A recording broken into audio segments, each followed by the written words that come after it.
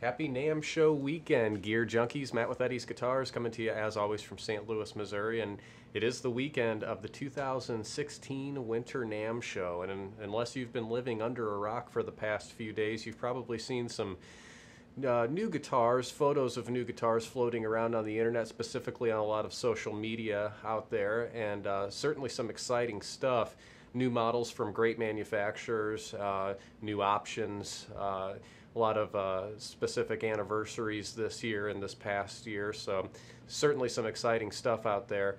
Uh, to be honest with you, I've had plenty of excitement staying here in St. Louis. In fact, um, just took receipt yesterday of my own Dana Bourgeois OM guitar, and I thought that I would share it with you folks today. I get an awful lot of either comments on the videos or messages or phone calls even asking, Matt, you play all these incredible guitars what do you play at home? And I'm very, very pleased to be able to tell you folks I now play a Dana Bourgeois guitar uh, as my basically only instrument. So uh, covers a lot of bases. This is a painfully versatile guitar I've found just in the last handful of hours that I've had it. Uh, very pleasing to play. This is an OM custom from Dana. We've done some pretty cool upgrades to uh, certainly some of my favorites. Um, and it's lovingly referred to as the OM Bearded Hog, and you'll find out why momentarily here. So what you see here is a very nice looking, very blonde Italian spruce top. Just a beautiful top, and a little story behind that is um, they said, you know, Matt, most folks want the super tight grain, super creamy looking um, you know, Italian spruce when they order it that way. They said, we found that some of the, the Italian spruce with a little wider grain is really explosively good sounding. So I said, put whatever looking top you want on it, just make sure it sounds great and, and particularly real sensitive for finger style. So you can see just a little bit of wider grain on the outer edge there, which I don't mind a bit. I actually kind of like that. Bordering the top of the guitar is Dana's half herringbone or rope purfling. All wood there, just really neat contrast of colors, really works with the whole theme of this guitar really well. And the body itself is bound in a nice, rich ziricote binding. Just really looks so nice. Uh, I love their wood binding. The wood purfling that goes along with it there really works very well. And a wood rosette going right around the sound hole here. The back and sides of this guitar are sure beautiful as well. It's, uh, it's straight grain Honduran mahogany. Uh, really a nice looking set of mahogany. Nothing flashy about it, but I wanted something pretty plain Jane, pretty, pretty uh, straight. Nice even color to it. And just a very non-obtrusive black back strip going right down the center of the back there.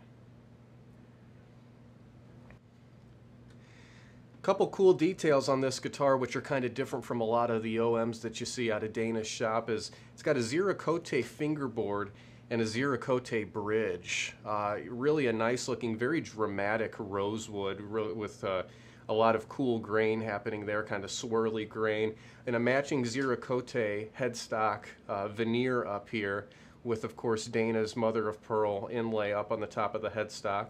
Got nickel Waverly tuning machines uh, with the uh, ebony buttons on there, and those ebony buttons really perfectly match the ebony bridge pins down here. I'll tell you, the guitar is just so perfectly well coordinated between all the ziricote. It's also got the ziricote uh, heel cap back here and a ziricote butt wedge down here at the end of the guitar, so really just a, a, a very well-dressed guitar. Not too loud, but uh, very well coordinated for sure. As you could probably guess, this guitar, of course, has the Adirondack bracing, which is standard for Dana's guitars, and I have had to order it with the hot hide glue construction. I just had to do it. Uh, that was one of the first options on the list that was imperative to be there. Um, just one of the best options, I think, in really opening up the voice of his guitars, and in the long run, I think will really be a beneficial option to have as that stuff really hardens and becomes one with the insides of that whole guitar this thing is braced so darn well. I mean, the finger style, it's, it's very warm, very rich, and if you take a flat pick to it, it's very satisfying for that as well, and it's got better headroom than I would have honestly expected out of it, so it's a very uh, surprisingly good sounding guitar. Uh, let's go take a listen to this one. It's very special.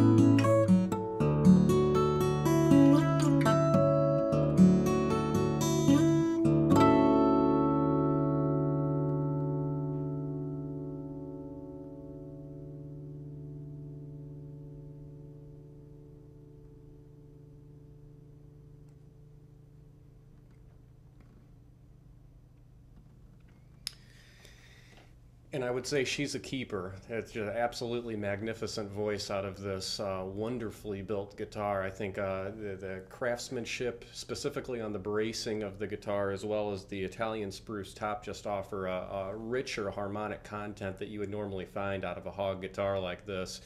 Uh, normally we'd find a little bit drier voice, but man, this thing just really sings and the sustain just really sails. That bottom end is nice and substantial, but yet balanced and clear. Uh, not muddy at all. Really, a, just a wonderful sounding guitar. Uh, I am completely, completely in love with it and can't wait to really uh, break it in myself and, and hear how it ages over uh, the, the years that I've got it here. So, very, very pleased. Many, many thanks to all the folks at Bourgeois, specifically Dana, of course, uh, also John, Scott, and Ryan. Many thanks to all of you, as well as any, anyone else who had a hand in, uh, in creating this masterpiece here. So, uh, and also, thanks for watching. Thanks for letting me share this thing with all you folks. And thanks for the inquiries about what I play. This is it. Um, and uh, if you would like to create a, a, bearded hog of your own or another creation from uh, Dana's wonderful shop there, certainly shoot me an email here. Uh, and as always, don't forget to, uh, subscribe to our YouTube demos. We'll see you guys next time.